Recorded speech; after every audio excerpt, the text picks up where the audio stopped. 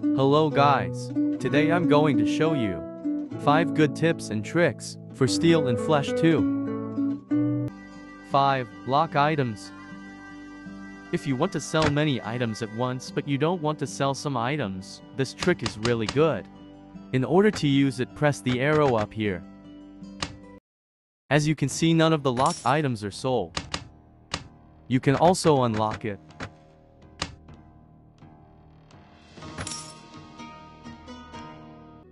Number 4. No horses. If you hate cavalry soldiers you can turn them off by going to settings and unchecking the horse button. This will make all the cavalry soldiers lose their horses, even yours. Come on!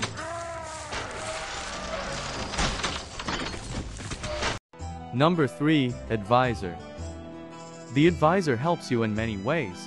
Like if you're a king it tells you if you have an extreme foreign policy or not or if you're a trader it tells you the best prices in the map. The advisor costs 5000 gold and 300 weekly salary. Number 2. NPC.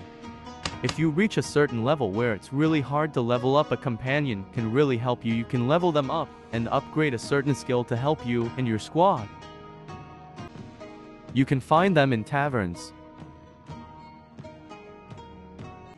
Number 1. Trading.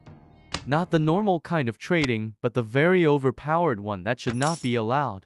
It works by buying every item in a town. The prices rise. Now sell them for a profit.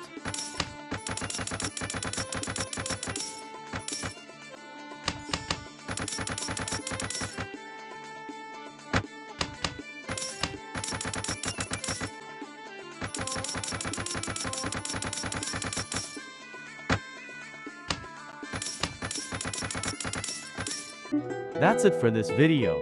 Thanks for watching, goodbye.